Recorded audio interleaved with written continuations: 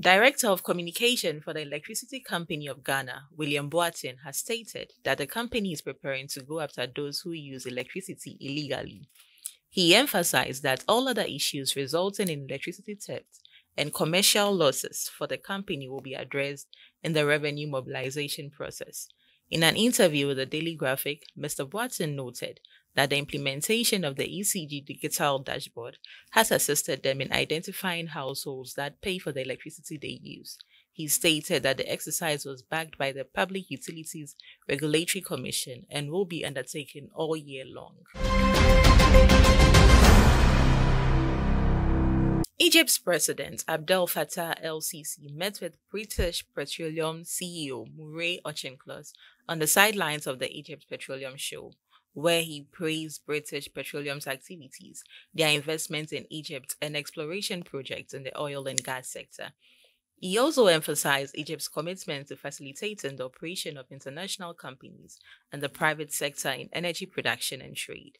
British Petroleum CEO Auchincloss praised Egypt's balanced approach to developing the energy sector and transitioning to clean energy he confirmed British Petroleum's keenness to boost investments in Egypt's oil and gas exploration.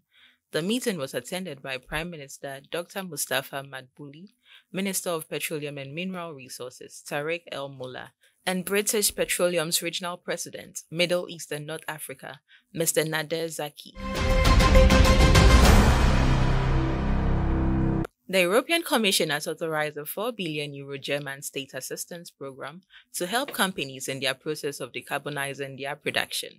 The scheme's initiatives will vary from the installation of melting tanks for glass manufacturing using electricity to the replacement of existing steel production methods with direct reduction hydrogen powered plants. The aid will take form variable yearly payouts under two-way contracts for difference known as climate protection contract with a 15-year term.